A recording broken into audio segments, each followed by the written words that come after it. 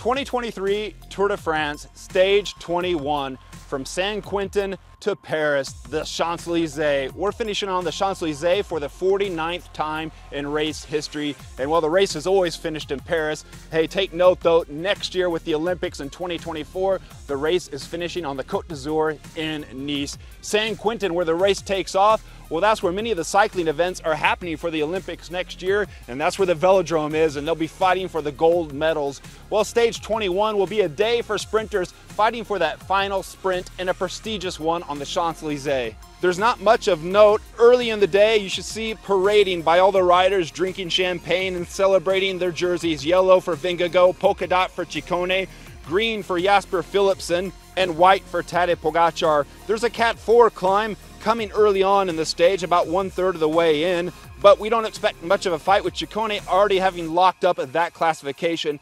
Then a sprint as we get on the Champs-Élysées. They're doing eight laps, 6.8 kilometers on the Champs-Élysées, Place de Concorde up to the Arc de Triomphe. It's a classic one. And who's my bet to win? Well, you look out for the sprinters, Dylan Groenewegen, Bini Girmay, and of course, Jasper Philipsen, who's already won four stages, holds the green jersey in this Tour de France. And oh yeah, having won last year as well on the Champs-Élysées, so he's going in there to defend. It's gonna be a day of party and celebration, a serious day for the sprinters, but as we wrap it up, Jonas Vingegaard celebrating in the yellow jersey after what should be a hard-fought sprinter stage, stage 21 of the 2023 Tour de France.